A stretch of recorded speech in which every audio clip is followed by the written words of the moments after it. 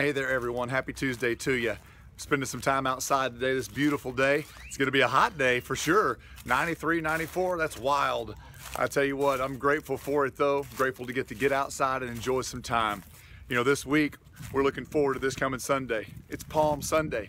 It's the day that when Jesus rode into Jerusalem, there was a crowd cheering, a crowd excited about him being there, yelling, Hosanna. They were saying, Blessed is he who comes in the name of the Lord. And by the end of the week, they're the very same people who were yelling, crucify him. It's just a crazy, crazy thing. And oftentimes we can look at that and go, what were they thinking? How in the world could they go from one extreme to the other? And the fact is, we're guilty of the same thing. We find ourselves in the exact same way. We've got these same fault lines. And this coming Sunday, we're going to continue in our series Fault Lines on Palm Sunday talking about worship.